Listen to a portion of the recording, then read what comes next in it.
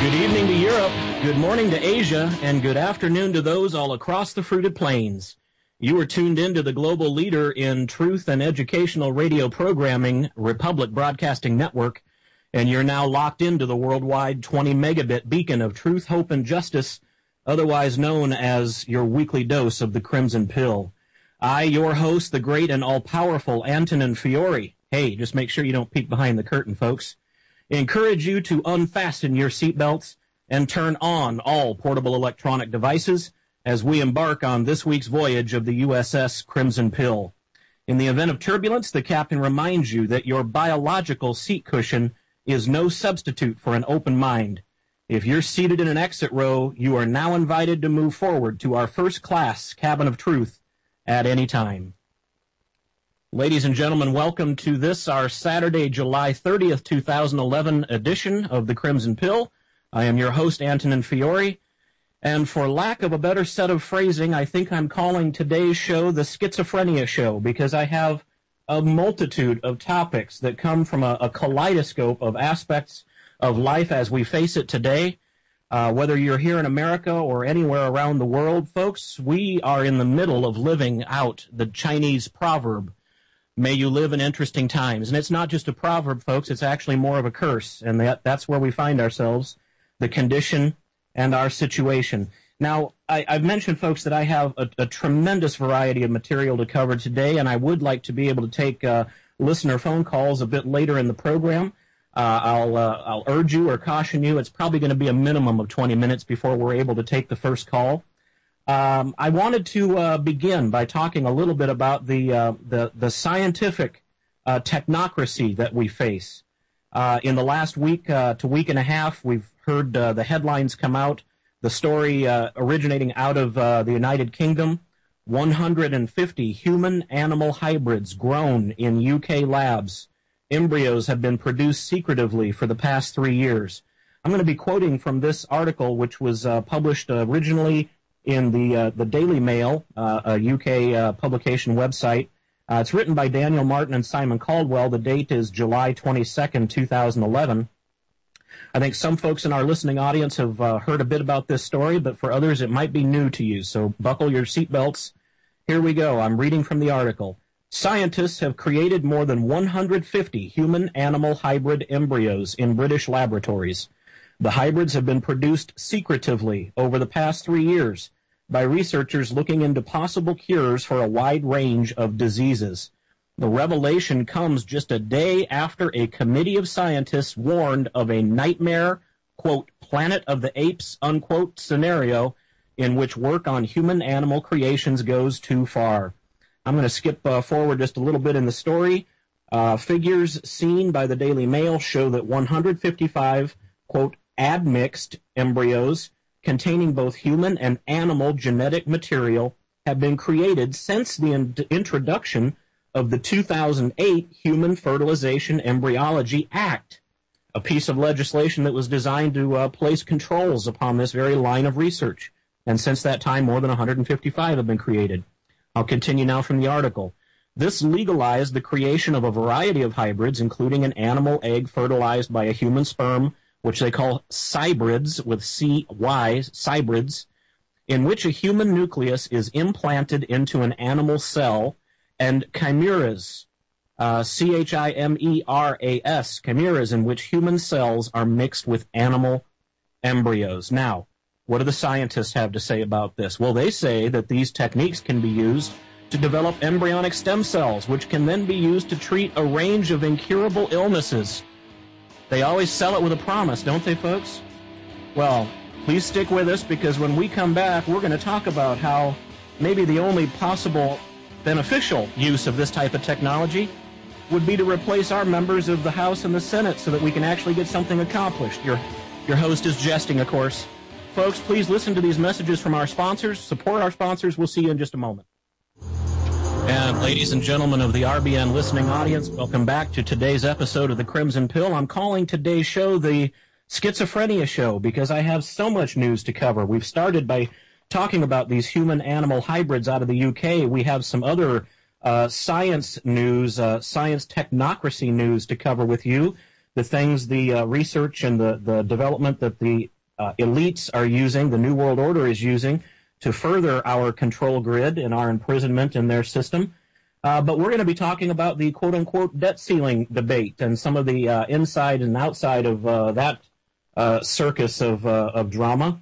We're also going to turn our attention back to our old friends at NASA, and we have an update to make for you about uh, Comet Elenin, some of the occurrings and happenings coming up on us very quickly in that avenue as well, and, and a whole other host of material, another three or four inches of of uh, research and documentation that I would love to be able to cover in our brief hour today. But to continue from uh, our investigation of these human animal hybrids, uh, according to the article, the research at the three labs that had been conducting this uh, uh, this uh, chain of experimentation on the embryos, according to the article, all have now stopped creating these embryos due to a lack of funding. But scientists believe that there will be more such work in the future. Now, uh, first of all, have they stopped that research? Of course not, folks. That's the uh, that's the outward claim. That's for the uninitiated. Uh, and as we'll find out a bit later here, this this is only the research that was happening in these three laboratories in the UK. Uh, we'll talk more about what's happening all around the world.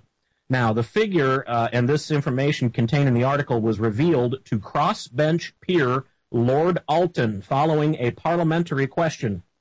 Uh, last night he said, and this again is about 10 days old, I argued in Parliament against the creation of human animal hybrids as a matter of principle. None of the scientists who appeared before us could give us any justification in terms of treatment. Ethically, it can never be justifiable. It discredits us as a country. It is dabbling in the grotesque. I fully agree with you, Lord Alton. Haven't met you before, but I'd love to shake your hand. He continues to say, at every stage, the justification from scientists has been if only you allow us to do this, we will find cures for every illness known to mankind. This is emotional blackmail. Once again, I fully concur, Lord Alton, and I appreciate you having the fortitude to say this in, uh, in Parliament. Uh, as I continue from the article, we now turn to Josephine Quintavalle, or Quintavalle, of, of pro-life comment on reproductive ethics, who said, I am aghast that this is going on and we didn't know anything about it. Why have they kept this a secret? If they are proud of what they're doing, why do we need to ask parliamentary questions in order for this to come to light? Very well said. Quite right. Why indeed? Well, they've kept it a secret because they know what the public's reaction would be, the hue, the cry from the public. But now I want to continue forward to one of the proponents of this research, the lead author of uh, the report, Professor Robin Lovell Badge from the Medical Research Council's National Institute for Medical Research, who said uh, the scientists were not concerned about human animal hybrid embryos because by law these have to be destroyed within 14 days. Wow.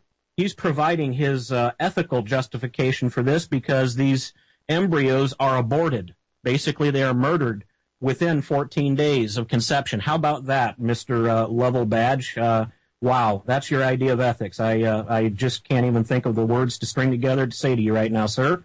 He continued, the reason for doing these experiments is to understand more about early human development and come up with ways of curing serious diseases. And as a scientist, I feel there is a moral imperative to pursue this research. Sir, a moral imperative to pursue it? You have no moral compass to begin with, my friend, and how dare you say that there's a moral imperative to pursue it when your concept of justifying why it's okay is because those fetuses, those embryos are murdered. They're destroyed within 14 days. Good night.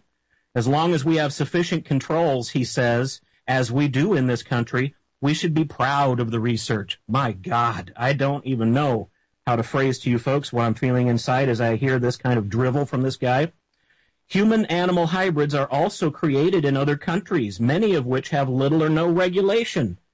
Well, that's just the crux of it, isn't it, folks? Because these very laboratories that they talked about and the funding, where the funding is actually coming from, is coming from international corporations, from multinational corporations that are able to conduct this research with no light of day whatsoever shed on their behaviors and their activities. They're able to do it in the four corners of the world where we know that they have uh, conducted other heinous, heinous lines of pursuit and research as well.